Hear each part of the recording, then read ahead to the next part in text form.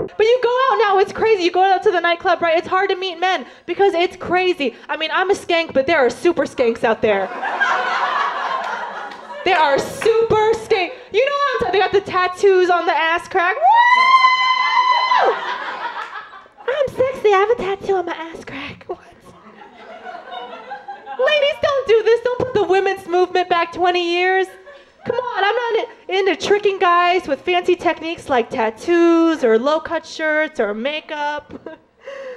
because, ladies, a little word of advice most guys would sleep with you in an alley.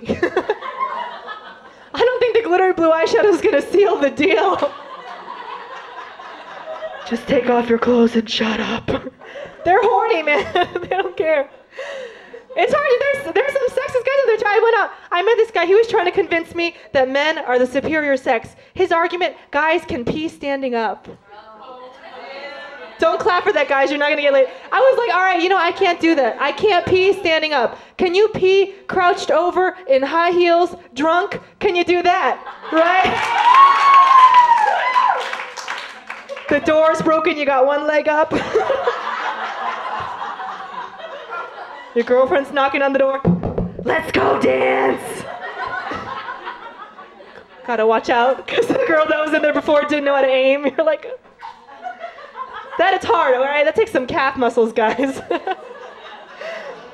it's hard.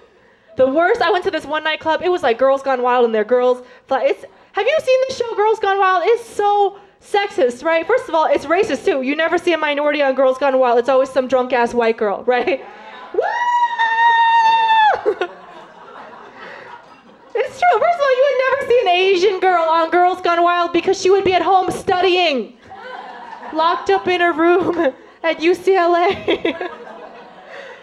you know, you never see a Latino girl on Girls Gone Wild because as soon as the camera guy asked her to flash her titties, she would just punch him out, right? Throw her baby at him.